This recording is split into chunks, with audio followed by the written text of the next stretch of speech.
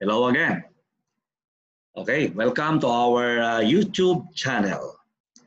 Uh, again, don't forget to click, uh, click on the uh, subscribe button. Uh, we will be uploading videos every day. And don't forget also to click on the bell icon and click all so that you will be alarmed or uh, notified whenever there are few videos uploaded in our channel. Okay, so let's have this uh, slingshot problem. This is also a board exam problem. Okay, board exam problem. So here we will be discussing on how to compute the force on a spring. Of course, this is a rubber band, but of course that behaves as a spring. Okay, so we have here the problem.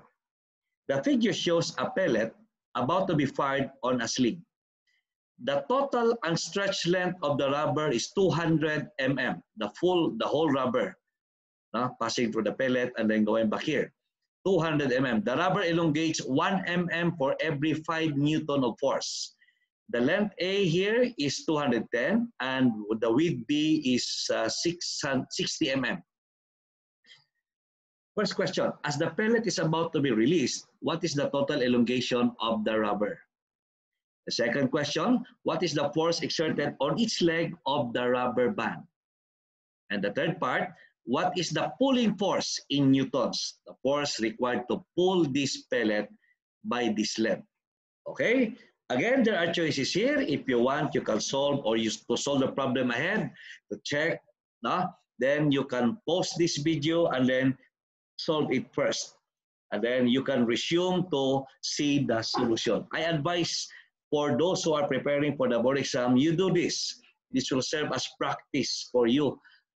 So these are similar to board exam questions, licensure exam questions. So uh, you can always do this in our videos that has choices. Okay, you can pause the video.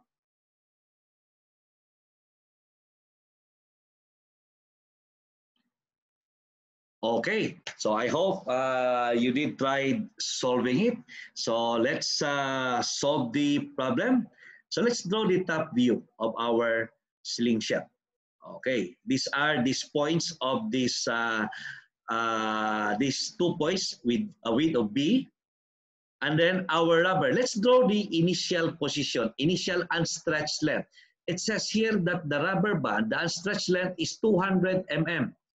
So that means that every side of it will be 100.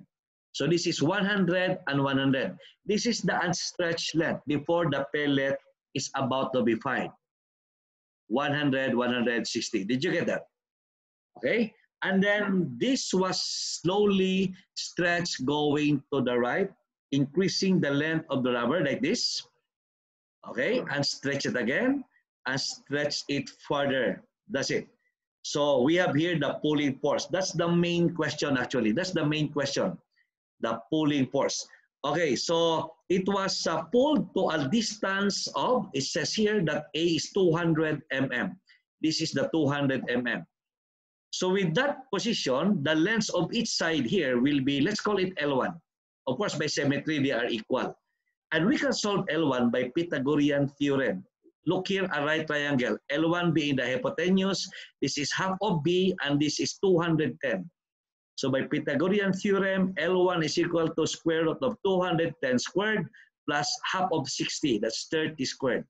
So the length of each side before it was released is 212.132 millimeters. The question is the elongation of the rubber before when it is about to be released. So with L1 known, we can now compute the total length of the rubber before release. Obviously, that will be 2 times L1, 424. But listen, this is not the answer. The question here is the elongation. Uh, good that there is no 424 here. Otherwise, you could have chosen that answer. Okay, so the elongation is 424 minus the original length, which is 200 mm. 424 minus 200, that will be 224.3 mm. The answer is letter C. So I hope you got it correct. Okay, Part 2. What is the force exerted in each leg of the rubber band? Okay, let's compute the force. To compute the force, we will use the spring, the formula. Uh, these are the forces. Let's call it F1, F1. Okay, so to compute the force, we need to compute the elongation of each leg. The initial length of the leg is 100. The final length is 212. So that the elongation of each leg, let's call it x, that will be L1 minus 100 mm. So that's 112.132 millimeters. Okay. The force in a spring due to its elongation x is given by the formula K times X, where K is the, we call it spring constant, but that is the stiffness. That's the force required to stretch a spring by a particular distance. In this case, it was stated here that uh, the rubber elongates 5 newt uh, 1 mm for every 5 newton of force. So meaning your K is 5 newtons per 1 mm or 5 newtons per mm. That is the stiffness, how how hard is the rubber. So 5 newtons. So if you elongate it by 2 mm, you need 10 newtons. Okay? So with x1 known, we can solve the force. That will be 5 times 112. So that's 560.66 newtons. Okay? That's the force on each leg before it is it was released. And that is here, letter A, 561 newtons. Okay. And finally, what is the pulling force? Of course, that will be the effect of the two F1, but that will not be the sum because F1 is have a different direction. So we need to compute the angle here, okay, for the third part. So we need to compute the angle. So this angle of F1 with the line of action of P. So let's call that theta. So what is that angle? Theta, theta, theta. So here it will be theta. Tangent of theta is opposite is 60. The adjacent is 210. 60 over 210. So that's tangent of theta. Huh? Ah, sorry. Sorry, sir. My apologies. 30 over 210.